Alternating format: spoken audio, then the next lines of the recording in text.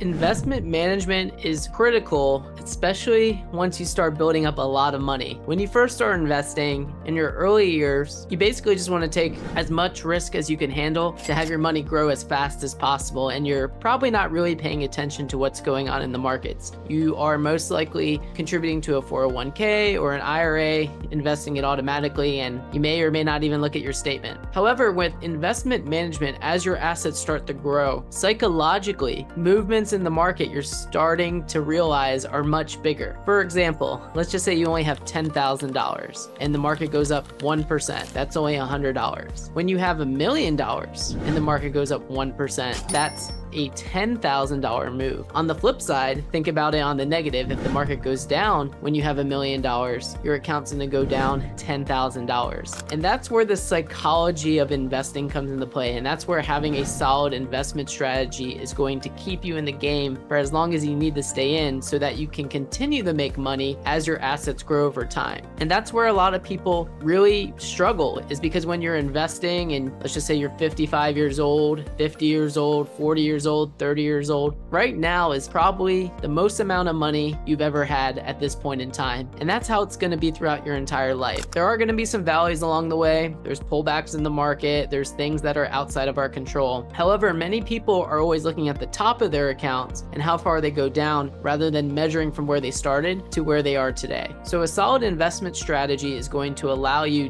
to understand what's going on with your money. Why is it going up? Why is it going down? Why is it just staying and making sure that we create a custom financial strategy based on your assets and based on your financial goals is going to be key to delivering the investment returns in order to achieve all of your financial goals and objectives, whether it's saving for a house, buying a car, saving for a wedding, paying for college, education, maybe it's even quitting your job. And that is really where the rubber meets the road because when investments go down in value, there could be opportunities to take advantage of. And depending on what your risk of your investments are. We want to make sure that we're making strategic adjustments to our account to capitalize on any opportunities that we see rather than just staying in one strategy and not making any adjustments throughout your entire life. That is definitely one of the major and most common problems I see when reviewing someone's investment account.